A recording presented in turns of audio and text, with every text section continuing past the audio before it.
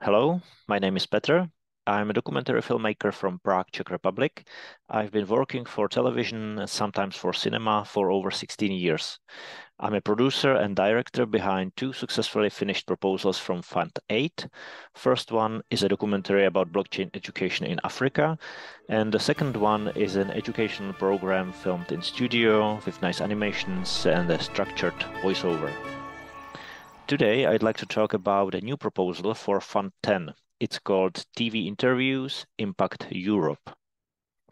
I've worked for television for many years, so I know from the experience that media simply don't have enough time to do the research when it comes to complex issues such as blockchain. The result is they do not cover these topics.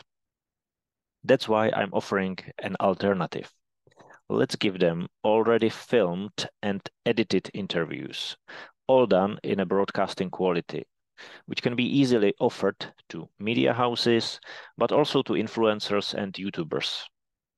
By doing this, we ensure that the Cardano impactful projects have much higher chance of being noticed by the general public. So that's the basic idea.